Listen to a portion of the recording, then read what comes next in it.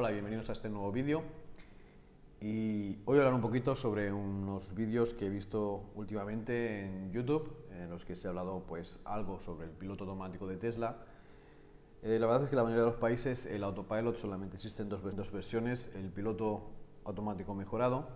y el capacidad de autonomía total, que como sabréis en Europa no funciona, solamente en algunas que otras regiones de algún país en modo de prueba. Y mm, digamos que las características del básico, eh, pues como que Tesla las ha quitado de su página web. Eh, y eso es una cosa que me hace un poquito de gracia, porque se sigue hablando de este autopilot muchísimo. Yo eh, voy a reaccionar a un vídeo que he visto últimamente, de alguna manera lo más plausible y lo más neutral que pueda. Y bueno, deciros que cuando yo, las personas que seguís hace tiempo el canal, 360 y VR180, mi nombre es Dani, si queréis suscribiros al canal, dar un like si os gusta esta clase de contenidos, eh, pues ya comenté que Tesla, las cámaras tardan muchísimo tiempo en calibrarse, o sea, en mi caso, eh, más de ciento y pico kilómetros hasta que pude ver coches de lado eh, y casi 200 kilómetros para poder ver los semáforos y las rayitas al 100% en el suelo y poco a poco se van incrementando otra clase de simbologías, como podían ser los ciclistas, como podían ser los peatones, como pueden ser las bicicletas y los motos. Y en muchas ocasiones veía como una persona que va con un carrito lo interpretaba como una bicicleta o una motocicleta y como también interpretaba alguna vez algunas personas eh, veía dos y eran cuatro, o veía tres y eran cinco, o veía una y, el coche enseñaba dos. Y esto es... Em, pienso yo que el coche se va entrenando mientras que va eh, habilitando las capacidades, las capacidades que tiene. En, mi caso tenemos la versión de piloto automático mejorado, em, lo puedes activar o desactivar y lo otro que sería el básico, pues para mí es sencillamente, y lo digo con toda mi sinceridad, es un, un controlador de la velocidad y un controlador de carriles y nada más no navega solo, puesto que no puede ir del punto A al punto B, tienes que hacer tú los cambios de carril, tienes que tú acelerar y frenar de vez en cuando, porque el coche reconoce las señales cuando las reconoces y cuando no, no las reconoce. En mi punto de vista, em, sabréis que, bueno, para mí, desde la última actualización, el coche como que reconoce aún peor a las personas o a los coches o a obstáculos que hay en el medio de la carretera. Lo que se puede decir es que en mi caso, tanto el básico como el, bueno, el básico que se puede utilizar más o menos, porque el, el, otro, el mejorado lo utilizaría solo y exclusivamente en autopista, no lo haría nunca en ciudades ni tampoco en, en autovía, o sea, en carretera general, por el simple hecho de que los cambios de carril son muy bruscos y aunque lo pongas que no lo sea, lo va a ser. Más no te deja ponerlo en ciudad, ¿vale? Y porque siempre se quiere acelerar al máximo de la calzada. Y en muchas ocasiones hay señales que no reconoce y esto tiene que ver porque las señales son más pequeñas o más grandes según la velocidad a la que tú vayas. En la autopista suelen ser señales más grandes porque vas a una velocidad para que tú las puedas ver. En ciudades, si está a 30, la señal es igual que la de 50, pero en muchas ocasiones el coche no la interpreta o no la ve. No sé por qué. A veces sí, a veces no. Lo que me he dado cuenta es que cuando hay peatones que van a entrar al paso de cebra y pisan el paso de cebra y el coche interpreta que está en el paso de cebra, si tienes la velocidad de crucero puesta, frena de repente el coche. O sea, cuando se da cuenta que hay un peatón cerca o que se está poniendo a atravesar la carretera, el coche frena, tanto en el básico como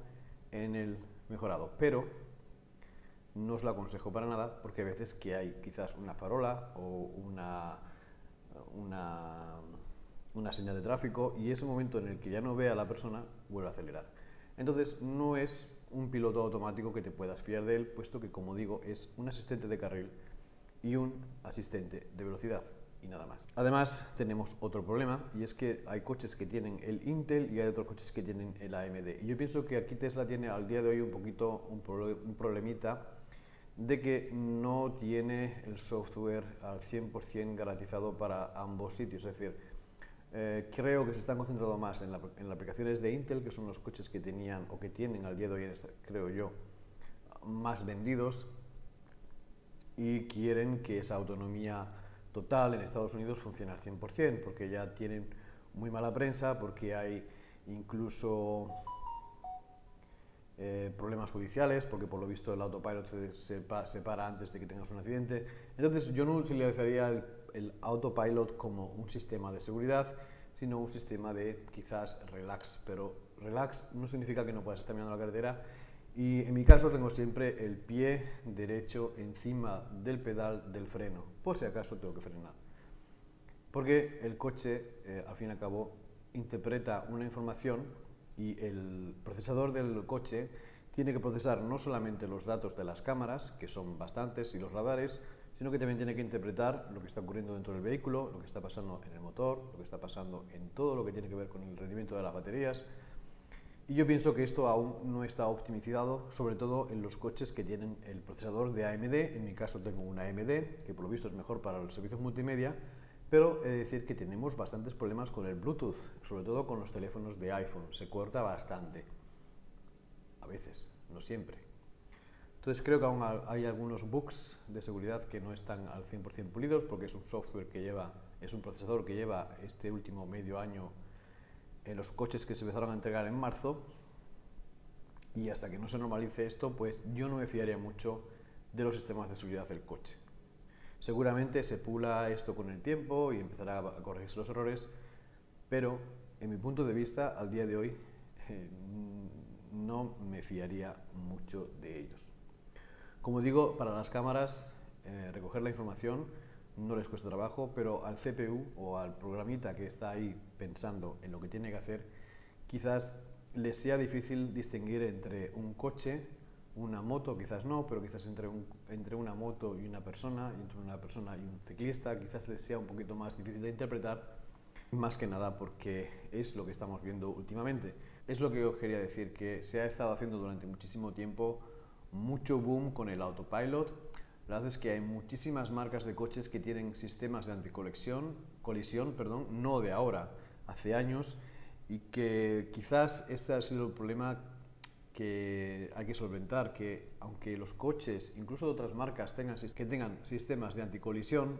no quiere decir que por eso te que fiar al 100% del coche, porque el coche tiene cámaras y las cámaras pueden interpretar la imagen de una manera, o sea, las cámaras no van a interpretar nada, pero el sistema puede interpretar las imágenes de la cámara como algo a lo que más se parezca. Y aunque no lo creáis, aunque no lo creáis, hay muchísimas cosas que el coche tiene que interpretar y tiene que reaccionar de una manera lo más rápida posible. Al fin y al cabo, el que tiene que hacer la reacción final, el que tiene que reaccionar por último, no tiene que ser el coche, sino tú. Entonces, eh, lo que quería deciros es que, no le la que está bien que le demos la culpa al software de Tesla, pero que al día de hoy, a mi punto de vista, no están los procesadores al 100% em, a esa velocidad que hace falta para poder tener una navegación autónoma. Son muchísimos inputs los que tiene que poder tratar el coche y viendo los procesadores que están montando los coches, lo pequeñitos que son y los pocos núcleos que tienen, el poco RAM que tienen, es prácticamente imposible que pueda ser algo verdaderamente bueno. Bueno, veo que me estoy enrollando muchísimo y que no he llegado al punto final de este vídeo. Lo que quiero decir es que los procesadores que tienen estos coches, no solamente Tesla, sino todos los coches que hay en el mercado al día de hoy, a mi punto de vista, son procesadores muy livianos para procesar un montón de datos que prácticamente es imposible que los puedan tratar todos al 100%. Por eso, al final, en última instancia, la persona que tiene que hacer la última reacción, la última corrección de lo que está pasando en el momento que estás conduciendo, eres tú. Pensar que un sistema de alarmas, un sistema de bueno, de tratamiento de imágenes para poder saber si un sitio es seguro o no es seguro, si te van a robar o no te van a robar, si van a perpetrar o no perpetrar en tu terreno, son sistemas pues muy muy precisos donde hay un alto rango de cálculo, o sea, son procesadores grandísimos con un montón de RAM, con gráficas que están pasando las imágenes a través de gráficas, de tarjetas gráficas para poder extraer el máximo de esa imagen, para poder interpretar lo que está pasando en ese momento y en los coches, por mucho que nos quieran vender que uh, el sistema no sé qué, no sé cuánto, pensar que son un poquito de cámaras con una súper mala calidad de imagen en comparación con otras cámaras que hay en el mercado de vigilancia, por ejemplo, y que lo que tiene que interpretar el coche en milisegundos es muchísima información y que lo más seguro es que el procesador no le va a dar tiempo de hacer todos los cálculos para poder predecir todas las cosas que pueden llegar a ser eso Y la verdad es que entre saber si ha sido un jabalí, un perro, un coche, un papel o un periódico o un cartón, para el coche va a ser muy difícil poder predecirlo en ese poco rango de tiempo que tiene para decidirlo. Por eso, al fin y al cabo, tanto el Basic como el piloto mejorado, en última instancia el responsable siempre eres tú. En el caso de lo que sería la autonomía autónoma que está en Estados Unidos, en Europa está, está justamente prohibido por esto, porque no puedes quitarle a la persona la responsabilidad porque no hay probado que estos sistemas funcionen. Y para mi punto de vista, mientras que tengan estos pequeñísimos eh, AMDs o Intels procesadores, mm, para mí no hay autonomía ni hay posibilidades ninguna de que el piloto automático vaya a funcionar. Como digo, hace falta muchísimas operaciones, muchísimas interpretaciones y en una cosita tan pequeña y tan lenta es prácticamente imposible. Este procesador es capaz de quedarse colgado incluso con una conexión de Bluetooth en algunas ocasiones. Nada más, espero que os haya gustado el vídeo, suscribiros al canal y como digo, no soy ni pro ni anti Tesla, pero creo que hay demasiado hype en muchísimas cosas. E incluso estoy viendo que hay mucho hype por coches nuevos como los que se está viendo últimamente, como el Polestar, Automotive. Google lleva casi 10 o 11 años trabajando en lo que sería la conducción autónoma y aún no tiene una cosa al 100% hecha. Y mirar que Google invierte también muchísimo dinero en nuestras cosas. Se cuentan en canales de YouTube que solamente está en investigación esto, Tesla, y que ahora se han puesto otras empresas también a hacer esto. Pero que no, que hace ya años que está Google en esto. Que Nvidia lleva ya un par de añitos también haciendo esto. No es nuevo, es algo que es lógico.